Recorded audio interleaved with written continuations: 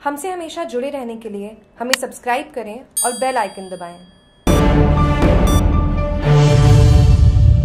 चोरों ने fast food की दुकान में किया हाथ साफ़। होम थिएटर नकदी व सिगरेट की चोरी आबू रोड आगरा भट्टा में चोरों ने कल देर रात हाउसिंग बोर्ड के सामने स्थित फास्ट फ़ूड की दुकान को निशाना बनाया। आज सुबह दुकान पर पहुँच दुकान मालिक को चोरी होने का पता चला। दुकान का ताला टूटा मिला। चोरों ने दुकान में लगा होम थिएटर गले में रखी करीब पाँच से सात हज़ार रूपए की नकदी व करीब पच्चीस तीस हज़ार की सिगरेट चोरी कर ली।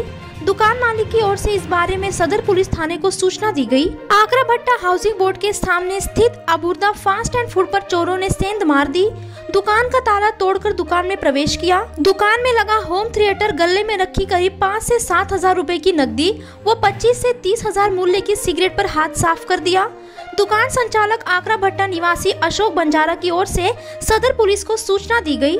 मौके पर पहुँची पुलिस ने आवश्यक कार्यवाही को अंजाम दिया चोरों ने डिस्कॉम के ग्रामीण कार्यालय के सामने स्थित दो कैबिनों को भी निशाना बनाया। लेकिन कैबिन में सामान नहीं होने से चोरों के हाथ खाली रहे।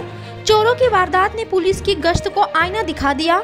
अबुर्दा फास्ट फ़ूड में चोरी की वारदात को अंजाम देने वाले चोर समीप की दुकान में लगे सीसीटीवी कैमरे में कैद हो गए। कैमरे में चार युवक चोरी किए गए सामान को ले जाते हुए साफ़ दिखाई दे रहे हैं। सीसीटीवी फुटेज चोर तक पहुँचने का अहम सुराग साबित होगा। जागरूक टीवी के संवाददाता से बात करते हुए आबू रोड से दुकान संचालक अशोक बंजारा, इन्होंने ये कहा।